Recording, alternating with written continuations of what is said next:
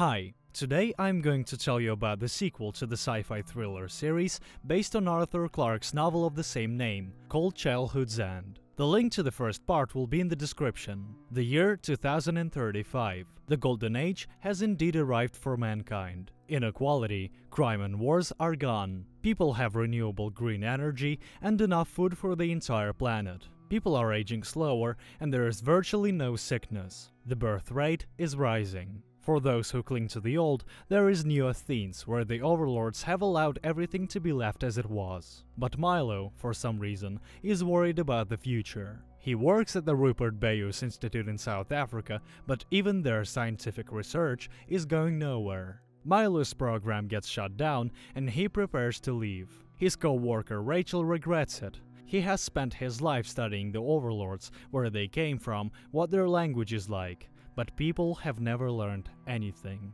Greta, who has grown up, also thinks about the devil all the time. Karellen visits Ricky and inquires about his well-being. The man has begun to get tired, and there is no way they can have a baby. But, as it turns out, the alien has appeared to announce that Earth now has a new destiny. A new room has mysteriously appeared in the center of Boyce, with a Ouija board. It is a communication device. But with whom? Jake's son sleeps very restlessly at night, and his wife talks in her sleep about saving the children. The man worries about his loved ones and takes Tommy to a psychologist Greta Jones. Boyce shows Milo a room full of animal figurines, which he captures and sends to the planet of the Overlords. But one other species is missing from their collection humans. And Boyce intends to persuade the aliens to take him with them. Tommy confesses to Greta that he travels to a dark and hot place at night. He sees fire on the ground and smoke in the air, and above it all is a huge eye. Greta tries to convince him that what is happening is unreal, but Tom suddenly grabs his head and starts screaming. There is nothing the adults can do, and Greta feels a gasp and her cross changes shape and comes off her neck. There is silence, and Tom tells the mother that all is well. The baby is no longer crying. The woman is dumbfounded. She is not pregnant. Ricky tries to confess to Ellie, but suddenly collapses from severe pain in his body. The doctor makes a terrible diagnosis. This is what Karellen was talking about. He's poisoned by some substance in the ship's hull. Greta goes to see the pastor. Although the churches have been long deserted, he keeps order and cleanness in his church. The woman talks about Tom and shows her cross. Milo says that the aliens look like demons because they have been to Earth before and people have seen them. Greta shows an illustration of hell. Tom describes the place of visitation exactly like that, and the overlords are the fiends of hell, attacking Faith, the last abode of humanity. Four months later, the Gregsons learn that they are having a daughter. Emmy comes up with a name for the girl, while Tom tells her father her sister's name, Jennifer. The astonished father hears confirmation from his wife, but she just picked that name, and Tom couldn't have known it. In the evening, Jake suggests that his wife flies to New Athens. After all, there was a lot of good things in the past life. Art, culture, and hot dogs. Dr. Boyce demands that the Gregson family be brought in. Greta sees a report about Ricky's illness and goes to his farm. Jake receives a personal invitation from Boyce to negotiate the construction of a golf course, and after persuading his wife, agrees to the trip. Greta meets Ellie. Boyce's reception begins. A large hall is packed with dressed up people. Rachel draws attention to a symbol in the window signifying love. She had such a pendant as a child. Boyce meets the Gregson family. Jake meets Milo, and he informs them that the center is closing. Then why was the planner really invited? He tells his wife and goes to find his son. But at that moment, the Earth supervisor enters the room. Karellen reminds them the problems are gone and people have lost the need for research. But they have something to be proud of. Boyce tells them that the animals are being sent to Karellen's planet for a zoo demonstration,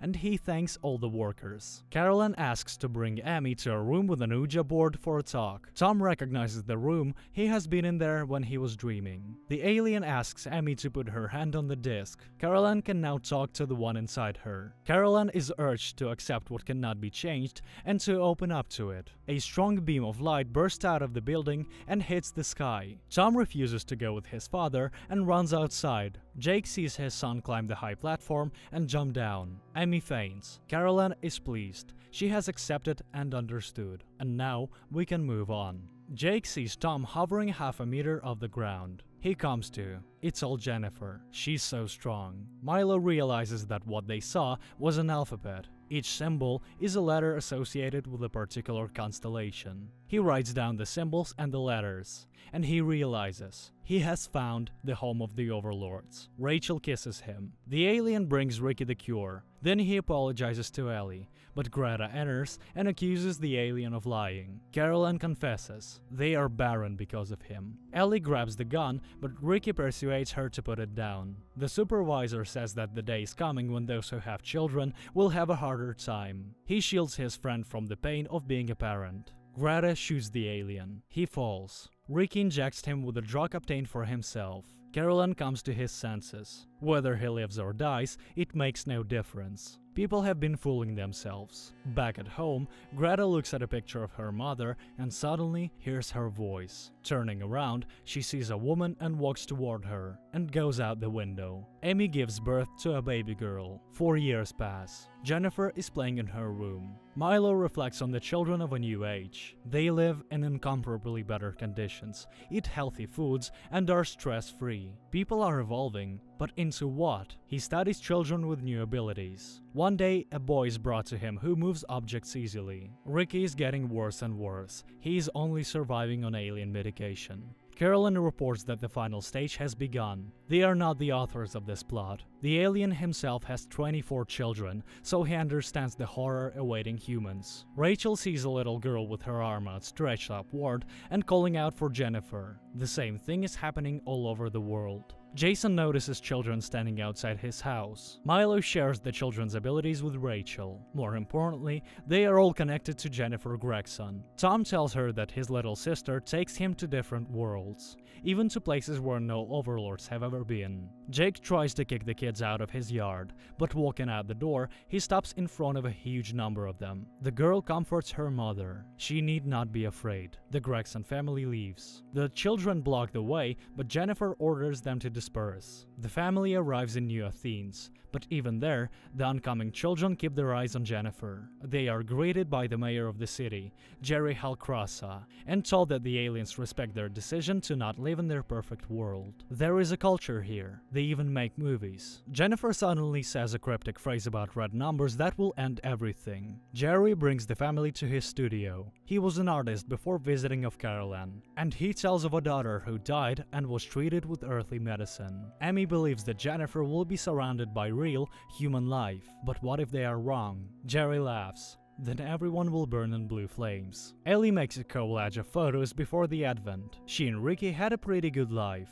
Amy lets Milo talk to Jennifer. He is convinced that the girl is the conductor of power to which everything in their world is drawn, and asks to look in the mirror. She shows him a picture of a fiery mountain. The mirror shatters. The end has begun. Milo is convinced. To prevent the end of Earth, he needs to get to the planet of the Overlords. He asks Rachel to send him along with the animals. Jason invites the family to the movies. Rachel asks Milo not to fly away, but he has it all figured out. It takes 40 days to fly there, and they will definitely send him back, so in 100 days he will be on Earth. The girl recalculates. At space speed, that's 80 years. Ricky is getting worse. He is in pain and calls out for Annabelle. Ellie responds to her name. Rachel and Milo are testing animal transport bags. The man shows the medications he takes with him. Adrenaline, steroids and vitamins. Then Rachel packs Milo in a squid bag. They say goodbye, and he asks her that if he doesn't return in 80 days,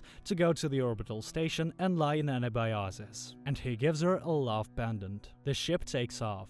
Ricky ends in a hotel room with Annabelle, but the girl disappears. He realizes that it is all just an obsession. Karellen can bring her back and slow down time here. This is his gift to his friend. But Ricky picks up a picture of him with Ellie. This is reality, and asks him to destroy the room. At night, Ricky goes out into the yard and falls on the grass. He confesses his love to Ellie, and she lies down next to him. They look at the constellations. Then Ricky dies. The Gregson family is watching an old movie, but suddenly, Karellen appears on the screen and proclaims that the Golden Age is coming to an end. The Great Intelligence has given them a task to oversee the transition of humanity to a higher level of mind. No more children will be born on Earth. The adults are left to live out their century in peace, paving the way for a new species. Jennifer takes to the sky, and all the children around the world rush after her. The inconsolable parents cry out in the pain of separation. Amy and Jason hold Tom down and ask him to stay. And Jerry turns on the bomb. The red numbers start counting down. The Gregsons find him in the church. The man realizes they were greedy and violent, but they also composed music and painted pictures. Jake urges everybody to stay strong and get the children back, but the mayor reminds there was only one hope the children. There isn't any more. Tommy says goodbye as his parents die. Jennifer has given time to say goodbye. Now it's time for him to go. Emmy recalls how she and Jake met when they were children. They know what love and family are all about. There is an explosion. The girl is standing on top of a mountain. Energy swirls gathering around her and taking off into the sky. Milo comes to and sees an overlord who shows him his world. 40 years have passed on Earth, and everything that has happened was planned long ago. By nature, by the cosmos, by the supermind. He is the one who sends the supervisors who change worlds. Milo sees a pillar of fire, a connection to the supermind and then he hears voices. This is the united consciousness. Children are God, and parents must let them go. This is the evolution into one mind. A lot of Rachels appear in front of Milo, and he comes to his senses. He has to come back. He wakes up in front of a screen with his home planet on it. 85 years have passed. The space station is long dead. He's shown Rachel's frozen body. Milo tears up the locket and Rachel is shattered into a thousand pieces. He realizes that he is the last living person on Earth. It's all over. Karellen confirms that this is the fate of many worlds. They too have reached the height of their development. Humanity has so many flaws, but their children will go where overlords have no access. Milo asks to be sent to Earth. Someone has to be the last witness. And so, Milo sits in the middle of a ruined city on an old couch. He asks the supervisors not to forget about his planet. Jennifer, standing on the mountain, pulls energy from everywhere. Milo asks Karellen to save at least something from Earth's culture. His life flies before his eyes and music begins to play. The planet explodes. The overlords fly away, leaving the melody so that anyone who flies by can hear it. This is where the series ends. The series itself is not bad, but the director couldn't deliver the deep meaning that lies in the small format book of Arthur Clarke.